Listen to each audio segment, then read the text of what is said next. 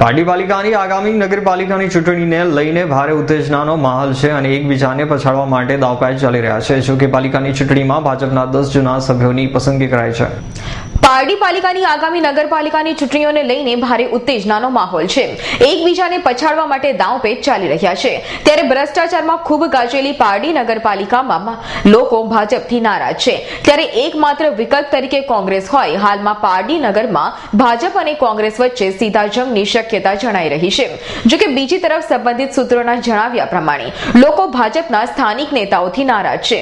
પરંતુ મોદીથી નારાજ નથી, તેથી માત્ર કમળ બ્રાન્ડને મત આપે તેવો સમૂહ મોટો છે. તે જોતા ભાજપનું પલ્લું ભારે જણાઈ રહ્યું છે. કોંગ્રેસમાં કોઈ મજબૂત આગેવાન નહીં હોવાથી લોકો દૂર ભાગી રહ્યા છે. ભાજપની નબળાઈ સામે મજબૂત વિરોધ પક્ષ તરીકે પણ પોતાની ભૂમિકા રજૂ કરવામાં કોંગ્રેસ નિષ્ફળ જતા લોકોનો વિશ્વાસ ગુમાવી દીધો હોવાનું સપાટી પર આવી રહ્યું છે.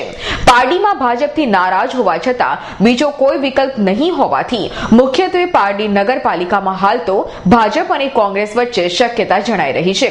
ઉલ્લેખનીય છે કે અમારી ટીમે પારડી નગરપાલિકાના જુદા જુદા વોર્ડમાં ફરીને ચૂંટણીલક્ષી સર્વે હાથ ધર્યો હતો, જેમાં પારડીમાં વિકાસના કામો મુદ્દે લોકોમાં અસંતોષ જોવા મળ્યો હતો. લોકોએ પોતાનો આક્રોશ વ્યક્ત કર્યો હતો. ચૂંટણીઓ પૂરી થતાં જ ગાયબ થઈ જતા નેતાઓ ફરી એકવાર દરેક વોર્ડમાં દેખા દેતા પ્રજા બતાવી દેવાના મૂડમાં છે. ત્યારે માત્ર મોદીને લઈ કમળ ખીલે છે કે પંજો બાજી મારે છે, તે તો આવનારો સમય જ બતાવશે. આજે ભારતીય જનતા પાર્ટી દ્વારા અઠ્ઠાવીસ ઉમેદવારોના મેન્ડેટ ડિક્લેર કરવામાં આવ્યા છે. અને અહીં તમારી સમક્ષ કોઈ પણ અસંતોષ જેવી કોઈ વસ્તુ દેખાતી નથી.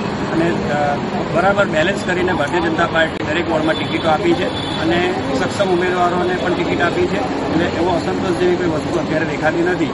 અને ભારતીય જનતા પાર્ટીના અમારા જે કંઈ બી અઠ્ઠાવીસ અઠ્ઠાવીસ જે મેન્ડેટ આપ્યા છે તે પૂરેપૂરી રીતે સક્ષમ છે અને ભારતીય જનતા પાર્ટી પાટીનગરની અંદર અઠ્ઠાવીસમાંથી અઠ્ઠાવીસ સીટ કબજે કરવાના તમામ પ્રયત્નો કરશે ખાસ કરીને જોવા તો ભાજપના સંગઠનના ઉપપ્રમુખ અને ખજાનચી એવો બંને જરાક નારાજ થઈને અલગ દિશામાં ગયા છે. તો એ લોકોને કેવી રીતે મનાવશે હવે?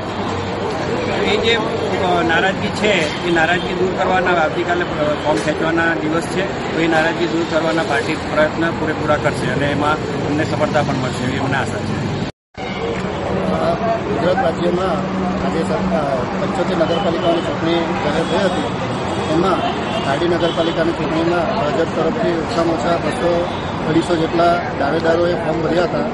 એમાંથી ભારતીય જનતા પાર્ટીએ અઠ્યાવીસ નામો મોટી નામોની પેનલ બનાવીને મામલતદાર કચેરી ખાતે ફોર્મ ભરાવ્યા હતા. એમાંથી આજરોજ પાર્ટીમાં ભારતીય જનતા પાર્ટીએ વિધિવત રીતે અઠ્યાવીસ નામોની જાહેરાત કરી અને પારડી નગરપાલિકામાં અ, ઉમેદવારો થયા નક્કી થયા છે. ભાજપના એમને સૌથી પહેલાં તો હું ભારતીય જનતા પાર્ટી પારડી સર્વથી આભાર અભિનંદન આપું છું. અને બીજું કે એમને સાથે સાથે પણ મારી નમ્ર વિનંતી છે કે ભારતીય જનતા પાર્ટીમાં અનેક દાવેદારો હોવા છતાં પાર્ટીએ તમારા પર પસંદગીનો કડક દોડ્યો છે. એનો મતલબ એ નથી કે આપણે સક્ષમ હતા. ઘણીવાર એવું બને છે કે આપણાથી પણ સારા કાર્યકરો હોય અને એમને ટિકિટ નથી મળતી અને એના બદલામાં આપણને ટિકિટ મળે છે. પરંતુ આપણે હવે ટિકિટ જાહેર થયા પછી સૌ ખબર મિલા- મલાવીને ભારતીય જનતા પાર્ટીને અઠ્યાવીસ જીરોથી પારડી શહેરમાં જીત અપાવીએ. અમૃત પટેલનો રિપોર્ટ પારડી.